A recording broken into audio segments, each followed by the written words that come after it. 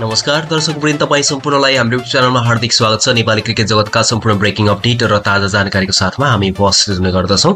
र आजको भिडियोमा मैले चर्चा गर्नेछु नेपाल भारत पाकिस्तान र श्रीलङ्का एकै समूहमा परेका छन्। र नेपाल क्रिकेट टिमले अब फेरि श्रीलङ्का भारत पाकिस्तान जस्ता क्रिकेटका महारथी टिमहरूसँग खेल्दैछ र त्यो इमर्जिङ एसिया कप रहेको छ दर्शक महानुभावले यसको बारेमा पुरा रूपमा जानकारी दिनेछु र कहाँ हुनेछ इमर्जिङ एसिया कप र इमर्जिङ एसिया कपमा टेस्ट नेसन राष्ट्रहरूबाट कुन कुन खेलाडीहरूले खेल्नेछन् र त्यस्तै गरी नेपालको तर्फबाट कुन खेलाडीहरू खेल्नेछन् र कहाँ हुँदैछ र कहिले हुँदैछ यसको बारेमा पनि सम्पूर्ण जानकारी रहनेछ। कृपया भिडियोलाई अन्त्यसम्म हेरिदिनु होला र नेपाली क्रिकेट सम्बन्धी सम्पूर्ण अपडेटको लागि च्यानललाई एक सब्सक्राइब गरिदिनु होला र लाइक पनि गर्न नबिर्सिनुहोला। एससी इमर्जिङ एसिया कप दुई हजार तेइस एक दिवसीय प्रतियोगिता श्रीलङ्कामा हुने भएको छ। आगामी जुलाई चौबिसदेखि तेइससम्म श्रीलङ्कामा हुने प्रतियोगितामा नेपाल समूहमा रहेको छ भने नेपाल पाकिस्तान भारत र श्रीलङ्का एकै समूहमा रहनेछन्।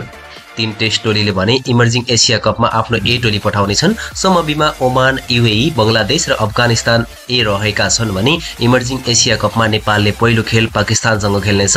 नेपाल र पाकिस्तान ए बिचको खेल पहिलो खेल चौध जुलाईमा हुनेछ। र नेपालले दुई महिना अघि घरेलु मैदान ट्यु क्रिकेटमा सम्पन्न एसएससी प्रिमियर कपको उपाधि जित्दै इमर्जिङ एसिया कपमा समेत स्थान बनाएको थियो र एसिया र एसएससी प्रिमियर कपमा नेपाल युए र ओमानले शीर्ष तिनमा रहँदै इमर्जिङ एसिया कपमा स्थान बनाउन सफल भएका पनि थिए। नेपाल वर्तमान समयमा आइसिसी विश्वकप छनौटको लागि अहिले जिम्बाब्वेमा रहेको छ र नेपाली सिनियर टोली लगातार व्यस्त हुँदा इमर्जिङ एसिया कपमा केही युवा खेलाडीहरूलाई मौका दिन सक्ने सम्भावना पनि उच्च रहेको छ। नेपालले इमर्जिङ एसिया कपको लागि विश्वकप छनौटपछि टोली घोषणा गर्ने अनुमान पनि गरिएको छ। इमर्जिङ एसिया कपमा टेस्ट टोलीका अन्डर ट्वेन्टी थ्री खेलाडीहरू खेल्नेछन् दर्शक महानुभावहरू यसको बारेमा पनि मैले जानकारी गराउन चाहेँ। इमर्जिङ टिम्स एसिया कपमा नेपाल दुई हजार उन्नाइसमा खेलेको थियो भने उक्त प्रतियोगितामा नेपाल भारतसँग सात विकेट र बङ्गलादेशसँग आठ विकेटले पराजित हुँदै बाहिरिएको थियो। नेपालले हङकङलाई चालिस रनले हराएको थियो। त्यसपछि भने इमर्जिङ टिम्स एसिया कप हुन सकेको छैन।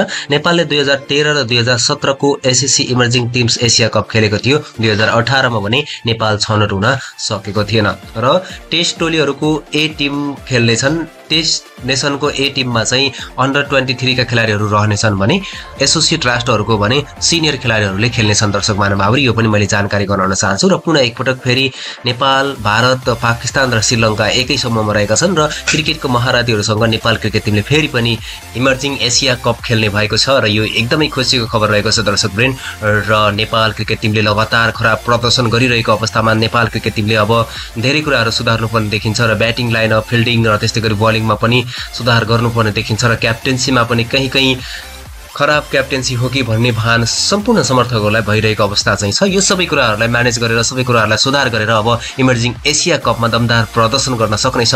टेस्ट नेसन राष्ट्रहरूसँग नेपाल क्रिकेट टिमले अब फेरि खेल्दैछ।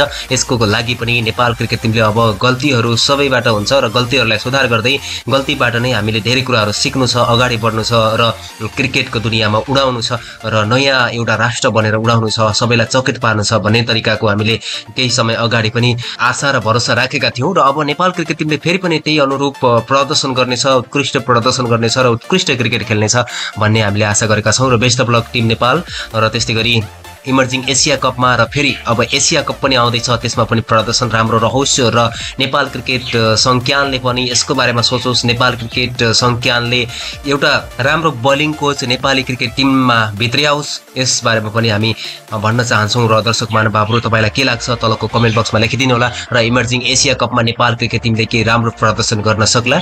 टेस्ट नेसन राष्ट्रहरूको ए टोलीसँग कस्तो खालको प्रदर्शनको अपेक्षा तपाईँले गर्नुभएको छ? सो बारेमा पनि तलको कमेन्ट बक्समा लेखिदिनु होला। नेपाली क्रिकेट सम्बन्धी सम्पूर्ण अपडेटहरूको लागि चाहिँ च्यानललाई सब्सक्राइब गरिदिनु होला भिडियोलाई एक लाइक गर्न पनि नबिर्सिनु होला भेट्नेछौँ अर्को भिडियोमा। अहिलेलाई भने बिदा दिनुहोस्। Bye bye. जय नेपाल। जय नेपाली क्रिकेट।